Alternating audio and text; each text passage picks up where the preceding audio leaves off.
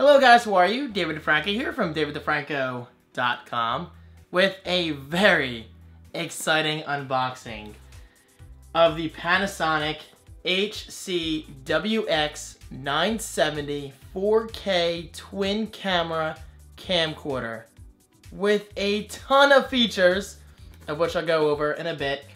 But first, I just want to express how big of a deal this is. Going back to January, I first discovered this camcorder at CES 2015 in beautiful Las Vegas. Oh my god. Guys, I want this so bad. Look, twin cameras. So look, twist that around. You get both video feeds at the same time. And like Chris said, this is perfect for me since I'm always flipping the camera around and showing, you know, You can always see your reaction without having to yeah. the camera around. This is technically like a built-in B-roll.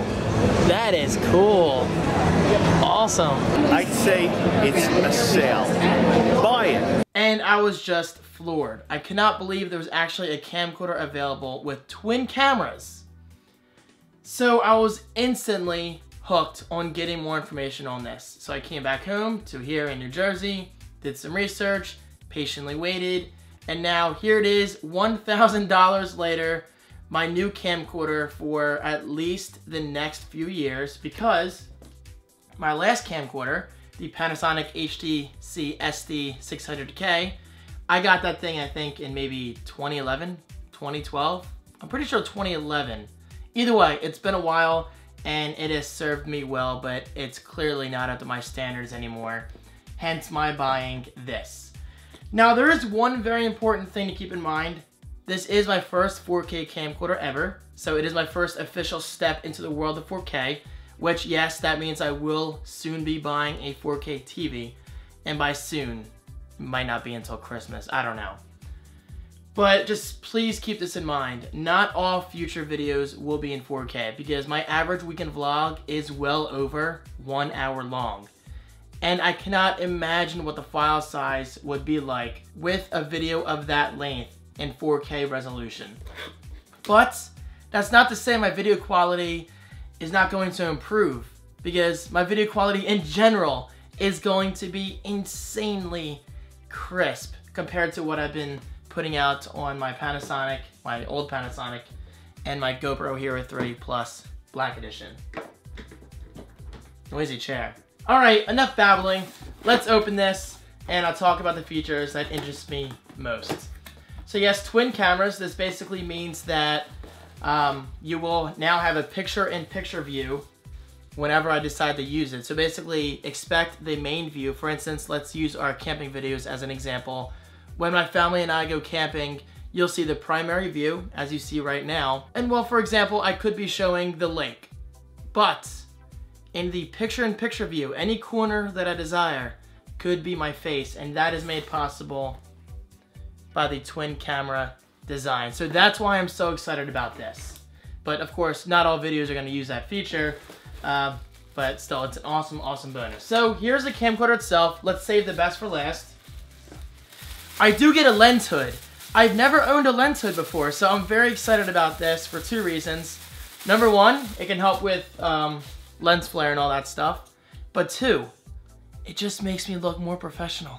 This is gonna be really nice using it in public. So very nice, like a Dickamar. My Seaside Heights fans know exactly what I'm talking about. So very cool. We also get a manual, but I'll probably not be reading this because I prefer to learn products on my own. Get a USB cable for transferring your data, which I will not be using, so I'm just gonna keep this in the plastic because I prefer to use one of my many SD card adapters right here on my 7 port hub. You also get another USB cable, but one that hooks into the camera power adapter. I'm not totally sure, but hey, the more cables the better, right? Speaking of cables, we're still going. This looks like an HDMI cable for HDMI out. Included power adapter. This I will be using. Man, they give you a lot of stuff. Something fell out of here. Oh, the battery. Oh, wow. Much, much different size battery than my current battery. Holy crap. Look at this. Old battery. New battery. so much smaller. And the model number is VWVBT190. So a lot thinner in terms of width. The height is about the same. And I've heard on um, Amazon that the battery life's not the greatest, but I will be buying an extra battery or two, as I did with my Panasonic. I currently use two batteries on here, and my T4i, which I'm recording with right now, I use three batteries. But right now, I'm hooked up to power, which is awesome. So wow, the battery is definitely a lot smaller than I was expecting. And yes, for my new viewers out there, I do talk a lot. This is a big deal, so it's something I want to look back on. And this is my shoe adapter. Yes, another huge benefit about the Panasonic HCWX970 over my Panasonic HTC SD600K is the fact that I can use external adapters such as microphones, lighting, anything that applies because that's something I cannot do on my current Panasonic. All right, enough of the babbling, David. Let's open this. Oh my god. wow, it's definitely a little bigger than my Panasonic HTC SD600. Panasonic HDC SD600K, but actually not that much bigger because if you notice, the battery protrudes on the HDC SD600K, but on the HCWX970, the battery's kind of built into the camera. So in a way, the length is very, very similar. That is quite nice. All right, on the front here, we have a light and built-in 5.1 surround sound microphone. Yes, you heard me correctly. You can now watch my vlogs and beautiful 5.1 surround sound. I'm very, very interested to see how that works out. This has optical image stabilization. I put an emphasis on optical because that's the best route to take.